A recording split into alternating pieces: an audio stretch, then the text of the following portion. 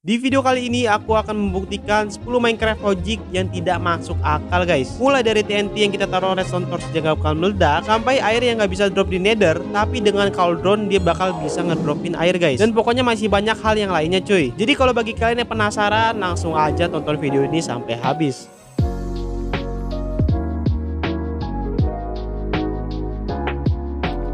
Halo semuanya balik lagi ke channel ini. Ya jadi pada video kali ini guys ya Gue bakal membuat video lagi Yaitu 10 Minecraft Logic yang tidak masuk akal guys ya. Jadi gue bakal membuktikan apakah bener-bener real cuy ya. Jadi gue ada tantangan buat membuktikan gitu ya. Oh ya bagi kalian yang belum like video ini dan subscribe Gue mohon bantuan kalian untuk ya like video ini dan subscribe guys ya oh ya by the way sorry banget ini gue nggak pakai facecam lagi karena kamera gue rusak lagi cuy aduh parah banget dah yaudah guys langsung aja kita menuju ke videonya ya guys ya let's go Oke, jadi untuk hal yang pertama di sini katanya sen ini nggak bisa hancur sama uh, apa tuh namanya stairs ya guys ya. Jadi gue bakal buktiin aja. Jadi apakah benar? Oke, kita pertama ambil uh, barang-barangnya dulu cuy ya. Oke, jadi untuk bahan-bahannya di sini uh, ada ya button terus sama stair sama slab guys ya. Nah di sini gue bakal coba apakah sen itu gak bisa hancur kalau di bawahnya kita taruh stair ya guys ya. Jadi langsung aja kita pertama di mana ya? Di sini aja mungkin cuy kita taruh button terus kita di sini taruh stair sama slab ya guys ya. Terus setelah itu eh jangan ini kita taruh slab terus di sini kita taruh stairs aja cuy. Nah kalau udah kita taruh Aduh sebentar kita taruh si sense-nya cuy di atas ini ya sekitar segini lah guys ya sekitar 10 blokan terus kita taruh juga se sense-nya di slabnya terus lanjutnya kita taruh di stairs ya guys ya Oke kita taruh kayak gini nah kalau udah kita langsung aja membuktikan cuy apakah benar-benar real gitu ya. Jadi langsung aja kita bakal coba pertama di sini untuk yang button nih cuy ya. Kita hancurkan apakah si sense-nya ini hancur guys. Oke, let's go. Lu kedet bro, nih hancur sennya. Lu lihat bro, cuma sama button ya kan. Nah, yang selanjutnya terus sekarang sama slab guys ya kita bakal lihat. Dia hancur juga cuy. Gila loh. Bayangkan cok. Nah, terus untuk yang ini stairs kita bakal lihat guys ya, apa hancur? Lu kedet bro, gak hancur coba ya kan? Ya mungkin kata gua sih ya, ini karena si ini kan dia ada kayak semacam blok gitu guys ya nih kalian bisa lihat aja nih ini kan blok bentuknya kotak gini ya kan? Ya mungkin dia tuh rata sama si yang ini cuy ya kan? Kalau misalkan si slab ya mungkin dia itu apa cuy apa namanya tuh? Dia setengah blok gini ya mungkin. Ya entahlah gue nggak ngerti lah ya. Pokoknya ini hampir masuk akal tapi ya wah gitu? Dia kan masih kayak ada celak di bagian sini ya kan? Ya gue nggak tahu sih kan coba komen aja menurut pendapat kalian gimana gitu ya. Oke guys, untuk hal yang selanjutnya di sini yaitu fans yang rasis guys ya. Kita langsung aja membuktikan apakah benar-benar si serasis itu guys si fans ini ya. Jadi pertama uh, kita taruh ya fans di gini, taruh sini terus uh, spruce bird terus sama jungle fans. Oke, kita langsung membuktikan kita bakal taruh di sini tengahnya ya asasia. Oke, bisa. Terus dark. Oke, bisa dark tinggal rasis ya cuy ya. Terus uh, mangrove bisa juga. Cherry bisa juga guys. Terus uh, bambu bisa juga. Nah terus untuk si apa namanya warpet ini apakah bisa? Bisa juga guys ya. Ini di nether loh blok nether ya kan? Maksudnya di crafting ini bisa dari apa dari nether kita ambil ya. Nah terus selanjutnya untuk si Chris Crimson bisa juga guys. Tapi kalau misalkan si nether ini ya nether gua entah kenapa dia nggak bisa gitu connect ya kan? Uh lu kedet bro. Tapi kalau sama si Dark dia bisa cuy. Ini kan blok nether juga ya. Ini juga ini kan nether nih. Ini bisa ini bisa ya kan? Apakah dia kelihatan hitam lebih hitam dari Dark? Tapi setahu gua lebih hitaman si Dark tadi guys ya. Ini nggak tahu si Mojang maksudnya gimana gua juga nggak kagak ngerti sama sekali si Mojang ini. Kok bisa buat buatan kayak begini cuy ya? Apa gua nggak ngerti tujuannya ya? Kalau menurut kalian gimana sih guys? Itu ya gue juga nggak tahu sih. Kalian tinggal komen aja guys. Ya ini gimana maksudnya yang selanjutnya di sini guys ya katanya Iron Golem nggak bisa spawn di dalam air, tapi kalau misalkan si Snowman itu bisa spawn di dalam air guys ya.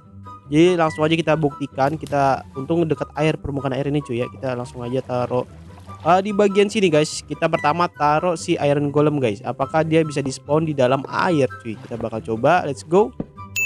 Bener guys, ternyata nggak bisa spawn di dalam air ya. Tapi kalau misalkan si snowblock eh snowblock apa namanya snowman ya dia itu bisa spawn di dalam air guys. Ya let's go. Gila cuk.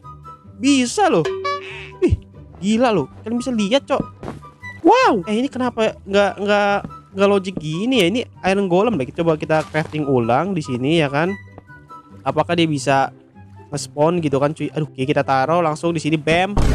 Kagak bisa sama sekali. Tapi kalau misalkan si snow kita lihat. Bam eh ini bisa guys aduh ini kenapa bisa begini dah menurut kalian gimana dah guys ini gue kagak ngerti sumpah ini kenapa bisa begitu ya Oke guys, untuk hal yang selanjutnya di sini yaitu bow nggak logik guys kalau misalkan dia tuh nggak tembus loh sama blok-blok yang kayak begini ya. Tuh ini kan ada bolongan nih guys, aturan bisa tembus ya. Jadi langsung aja kita bakal coba cuy ya. Let's go. Yang pertama di sini ada lectern. Apakah dia bisa tembus? Pertama langsung aja. Eh. Nah, kita langsung aja coba langsung kita tembak ke sini cuy. Tuh kedet bro. Dia nggak tembus dong. Ini ini aneh banget ya nggak? Ya nggak sih? Ya kan nih kita bakal coba. Dia nggak tembus guys. Ini aturan tembus coy. Ini karena bloknya kan nggak nggak blok solid ya kan? Nah terus untuk selanjutnya di sini ada fans. Jadi ini kan tengah bolong kita langsung aja coba. Anjir sama aja coy. Ini kagak kagak bisa nembus ya kan? Padahal tengahnya bolong juga dah. Selanjutnya si anvil nih guys. Ini si anvil kurang lebih sama sama kayak si lecter nih bentuknya ya. Cuman ini lecter tuh kayak ada rada turun sedikit ya kan ya. Nah coba langsung aja kita bakal coba let's go. Eh salah. Kita bakal aduh kita bakal coba. Apakah nembus? Kagak bisa juga. Aduh ini kenapa deh? Kagak logik coy. Tapi aneh aneh nggak sih ya nah terus untuk selanjutnya di sini uh, sama trapdoor guys ya. Jadi langsung kita bakal coba. Bam. Eh salah. Nah itu kagak tembus ya kan nih dia tembus coy Tuh atau Mojang nih kalau misalkan dia bisa tembus guys ya ini kayak lebih keren aja. Apa mungkin dia ada kaca guys ya? Oke, untuk yang selanjutnya di sini sign guys ya. Dia itu bisa tembus coy. Ini kita bakal lihat aja langsung let's go. Seh. Tembus dong padahal dia papan coy. Yang gue heran sama Mojang tuh begitu daerah nih. Tembus coy, gila. Oke guys, untuk selanjutnya di sini tentang seputar Iron Golem lagi sama si Snow ya guys ya. Jadi katanya kalau misalkan Iron Golem itu dia nggak bisa di spawn dari uh, labunya duluan atau si kepalanya ini duluan cuy ya atau pumpkin lah ya. Jadi langsung kita bakal buktikan. Pertama kita taruh misalkan gini dulu ya.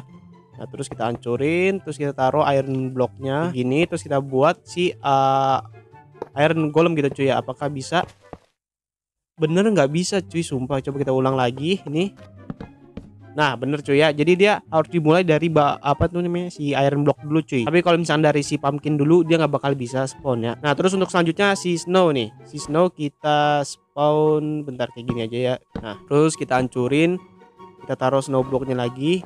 Dia nggak bakal nge-spawn guys. Ya kan bisa lihat aja dia nggak bakal spawn sama sama kayak si iron golem. Tapi kalau misalkan kita dari si snownya dulu terus kita taruh dia bisa nge-spawn juga guys ya. Jadi nggak tahu nih ini kayak ada kembar antara si snow ini sama iron ini dah guys ya. Oke guys, jadi untuk hal yang selanjutnya di sini uh, kita sama kayak tadi uh, bakal mencoba ngetes tembus-tembusan antara si slime sama si honey block ini ya. Jadi mana yang bisa tembus apakah semua bisa tembus apa atau tidak guys ya. Jadi langsung kita buktikan pertama dari slime. Oke, let's go. Ini kita taruh di tengah-tengah gini ya. Coba kita lihat. Enggak tembus guys. Coba kalau misalkan si honey block tembus anjir sumpah cok Tuh, kalau bisa lihat kan kagak ada. Aneh gue sumpah dah. Ini nggak logik cuy. Aturan si slime ini disamain kayak si honey block ini cuy. Ya tapi entah kenapa mojang ya kan.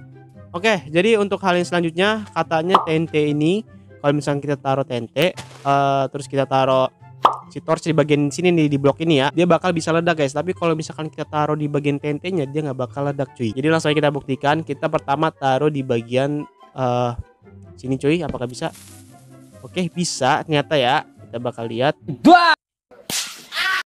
Terus kita taruh TNT-nya apa sih resin torch tuh di bagian TNT-nya ya. Dia nggak bakal ledak cuy. Jadi langsung kita buktikan.